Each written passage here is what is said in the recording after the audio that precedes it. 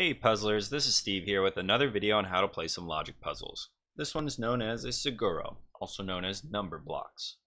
The goal here is to fill in every cell such that each region contains the digits 1 through n, with n being the size of the region. So if you have a four-celled region, you're going to be putting in the digits 1, 2, 3, and 4, and so forth. Cells of the same digit cannot be repeated next to each other, uh, not even diagonally. So that's it for the rules. What I'm going to go ahead and do is try to solve this puzzle for you guys, sharing some common tips and tricks along the way that'll hopefully make it easier for you to solve this type of puzzle yourself in the future. Now I've pulled this particular puzzle from a recently published book on Amazon. I'll post a link in the description below. Would love it if you guys would check it out. But uh, without further ado, let's get to solving. So with these types of uh, puzzles, I think the um, best tip is just to figure out which digits are missing and know where they cannot go.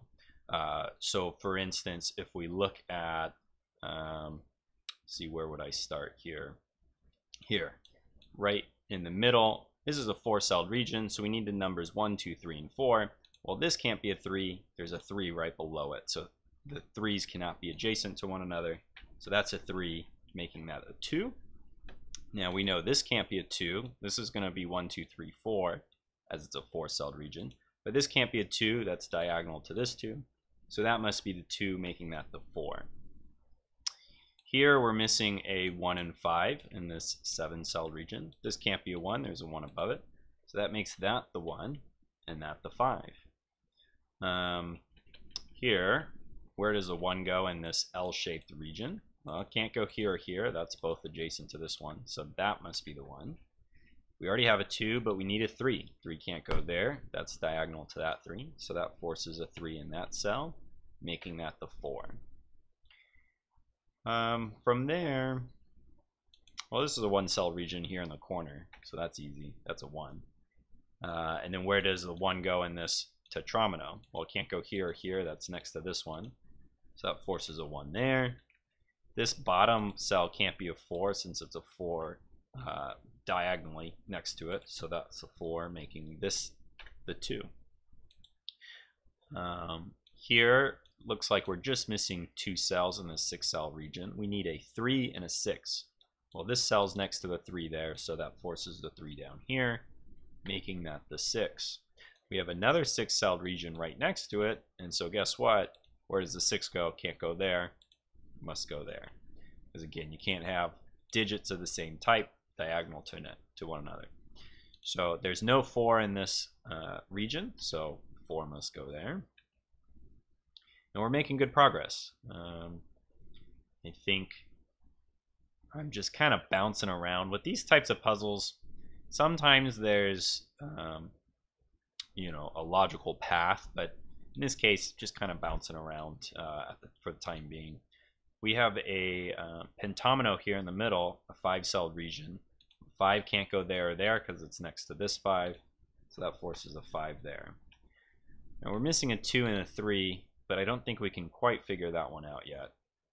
Um, sometimes on the harder puzzles, uh, or we might run into the problem later, where you're going to have to do a deduction by, by looking at negatives, meaning, you know, let's say, for instance, if you put a 2 there, you know, it blocks these two cells from being a 2, and you might say, oh, well, that's not possible because there has to be a two in one of those because there's a two missing. But you know, in this case, that's that's not the the situation. But you could see how this puzzle could get harder. Um, but I think this is a relatively easy one. But as soon as I say that, I'm, I'm getting stuck here. Oh, four. Where does a four go in this seven cell region? This four blocks those two cells, and this four blocks that cell. So four must go there. Now we need a 5. This 5 blocks those two cells, so 5 goes down there. All we're missing is a 1 and a 3. This 3 is diagonal to that cell, so that forces that to be a 3 and that to be the 1. Um, hmm, hmm, hmm. let's see, from this one cancels that one, and this one cancels a lot. Cancels this one, and then the two diagonals from it. So that must be a 1. And then uh, fours, this four cancels those two cells, and this four cancels that cell. So this must be the four. This three cancels that one, but I think that's, oh, and this three cancels that one. So the diagonals are taken care of, so this is the three in the middle, which means this one can't be in the three in the pentomino that we talked about earlier. So that's the three and that's the two. Um, this shape here, this seven cell, we're missing a two and a five. Well, these fives cancel that one. So that can't be a five, that must be the two, making that the five. And from there, this is a two and a three pair, but not quite sure if that's going to be helpful at the moment. Um, this is a 1, 2. It's a small region, and there's a 2 already there. So that's a 1, making that the 2. This 2 blocks that one. So there's a 2 going to be in one of those. But this bottom one is blocked by the 2 below it. So that's a 2. And this is a 7 cell region. We're missing a 7 and a 5. Well, this 7 here makes that having to be a 5. And that's the 7.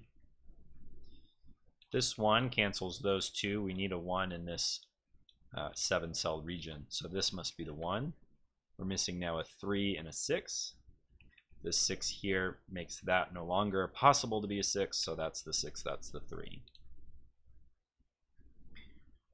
At this point, uh, this one cancels that one, this one cancels that one. So we know there's going to be a one in one of those.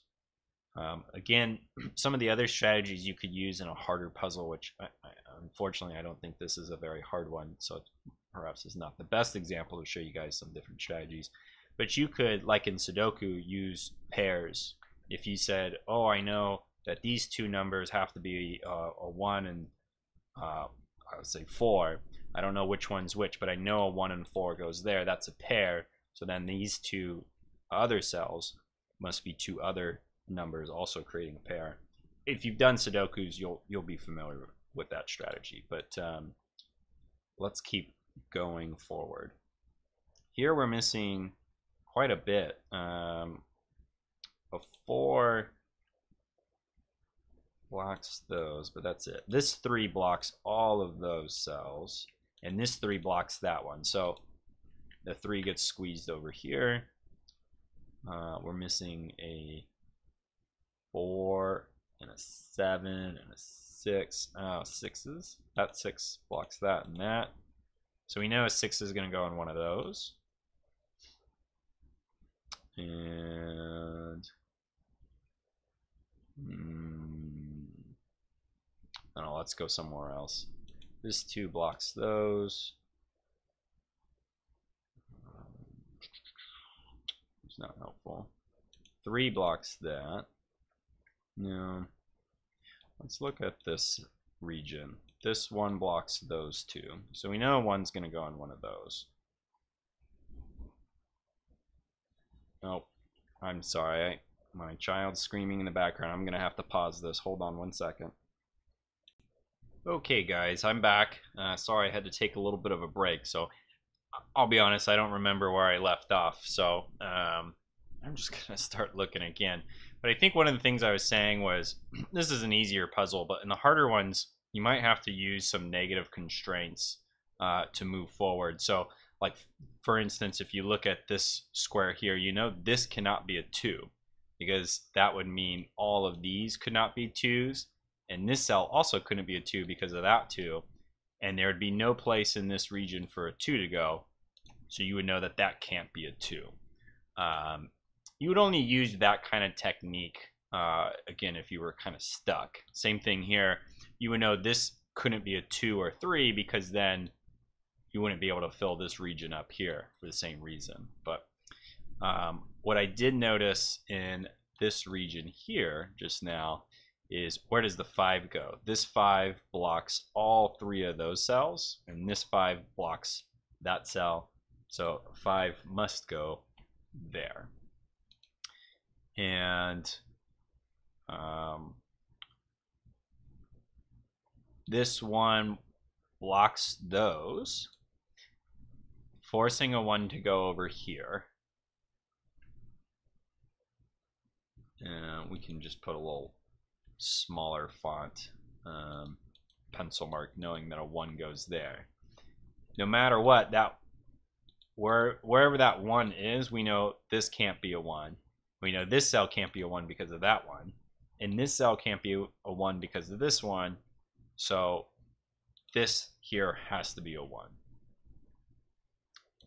And now we're missing uh, a 2, 3, and 4. Well, this 3 blocks those two. So the 3 has to go there. Now we're missing a 4, which can't go in this cell because of that 4. So this is a 4. And this is the 2. All right, so now this cell, or this region, we're missing a 2, 3, and two, three, four, and 7. Well, this can't be a 3. This can't be a... Well, I don't think we're going very far there. Let's look at this region. So we're missing a 1 and a 2. We've already established a 1's going to be over there. We've established this can't be a 2. We need uh, a 4. And the 4 can't go here because of this 4. The 4 can't go there because of that 4. So that must be the 4 there. Now we're missing a 2, 5, and 1. 1, 2, 5. 5 can't go here because of that 5. 5 can't go there because of that 5. So that leaves this to be a 5 and that the 1. So we can make that no longer pencil marks. And so this must be the 2 which pushes the 2 over here because now this cell can't be the 2. So that's the 2, that's the 3. And where does the 4 now go here? This 4 blocks those two. And this one can't be a 4 because of that one diagonal to it, so that's a 4. And uh, a 2. This 2 blocks that one, and this 2 blocks that one, so this must be the 2. And now we need a three, um, two, three, four, and a seven. Three and seven. So let's pencil mark those. We can come back to it. And down here is the last region we're missing. We need a 1. 1 can't go there. So 1's going to go there. And those three, that's not very helpful four, or can't go here, here, or there, because of the these fours here are diagonal from all those squares. So this is the four. A six, well, six can't go here because of this six, and a six can't go here because of that six. So this leaves the only square available for the six. This can't be the one, so that's the one, and now we need the seven. Um, and I thought that was it, but I forgot we haven't solved these here. Did I do something wrong? Am I missing something? One, two, three, four, five, six, seven. Three and seven. Okay, apologies. I had to pause the video uh, and look to see if I made a mistake somewhere because I was going through this video and I thought, you know, I don't think I made a mistake. And I realize after looking back at the original puzzle, this number here was actually given.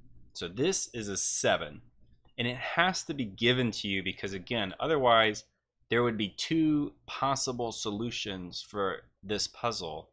And in order for a logic puzzle to be good and solvable, is there should be one unique solution, uh, not more than one. Because if this were the case, you you know it'd be a 50-50 chance that you get it right or, or wrong uh, so this actually is a 7 and it's given to you uh, so we know then if this is if this cell is given we know that this has to be the 3 then and so I will fill that in and there you go um, sorry if any of you tried to do this puzzle before watching the video um, but that is how you solve it um, I think these number block puzzles are pretty easy. Even the harder ones where you have to use some negative constraints to solve it. I still find them to be a, a, a tad easy, but uh, they're fun. I think um, you know if you enjoy doing logic puzzles, but you don't exactly like the uh, brain workout of the super tough ones. These these are nice. I mean, they're relaxing. They're they're pretty easygoing. But hopefully you guys like this video. If you did, give it a thumbs up and subscribe for more videos like this in the future. Thanks everyone. Have a good night.